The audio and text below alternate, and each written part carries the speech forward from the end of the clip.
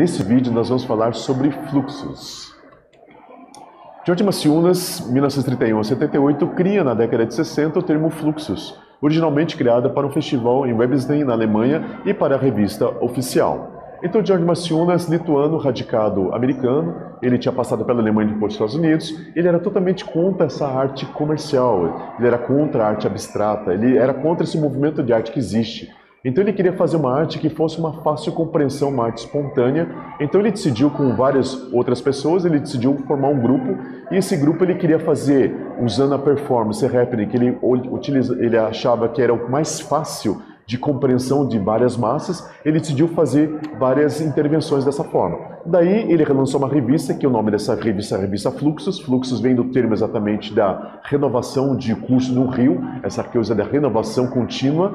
E ele acabou fazendo essa revista para registrar esses movimentos e acabou pegando o nome do grupo como Movimento Fluxos e se tornou internacionalmente conhecido. E nós temos a fala de Alan Kaprov e exemplifica o pensamento fluxo. O artista hoje não tem mais que dizer eu sou um pintor, um poeta, um dançarina. Ele é simplesmente um artista. Todas as instâncias da vida se abrirão para ele. Então, o John é, Alan Kaprov, que ele acabou se tornando a segunda leva do grupo Fluxos, ele veio fazer parte do grupo Fluxos, além de professor de artista, ele tinha essa visão de que o artista agora, da idade contemporânea, ele não pode ser só pintor, só música, ele pode fazer, utilizar várias linguagens.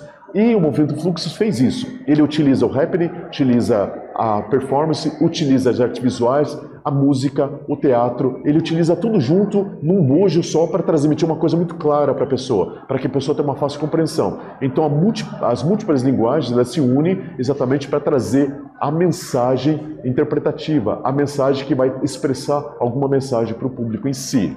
E nós temos o grupo manteve a tradição de publicar manifesto, nele havia colagem da definição da palavra latina fluxus no dicionário e algumas citações da palavra de Macionas, ou seja, como a arte tradicional tinha um manifesto, que é um documento que você fala no que você acredita, o Fluxus, que era se intitulava anti-arte, que ele era contra a arte comercial, contra a arte abstrata, ele fez também um manifesto exatamente para poder concorrer no mesmo patamar. Então ele queria entrar num protesto contra a arte, então ele entrou pelo mesmo caminho da arte tradicional e ele fez esse manifesto trazendo a sua ideia. Então, nesse manifesto, ele fala o seguinte: livre-se da burguesia, livre-se da arte comercial, livre-se da arte abstrata da imitação, é, e a realidade artística tem que ser compreendida por todos. Isso ele deixou bem claro, que ele não concordava com a arte que teria que ser vendida, porque a arte tem que ser uma coisa espontânea, ele não concordava com o abstrato, porque o abstrato a pessoa teria que ter uma compreensão mais profunda para poder ter entendimento, ele acha que a arte tinha que ser uma, uma, coisa interpretada por todos, e ele queria uma livre expressão que fosse uma coisa espontânea, que não fosse uma coisa forçada, não previamente falada, mas uma coisa que surgisse a um acaso, que pudesse dar exatamente essa liberdade interpretativa para a pessoa que está lá. Então nós vimos que a ação expressiva do grupo deu origem ao termo arte conceitual por meio do filósofo artista Henry Flink em 61.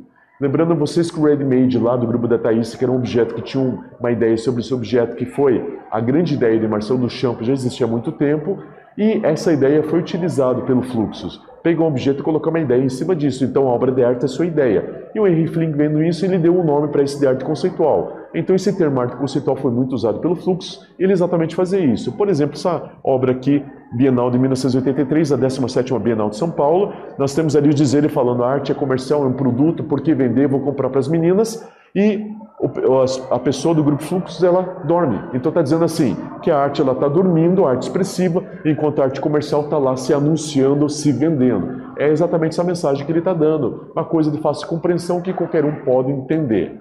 Ok? Nesse vídeo nós falamos sobre fluxos. Espero que vocês tenham gostado. Até breve. Tchau, tchau.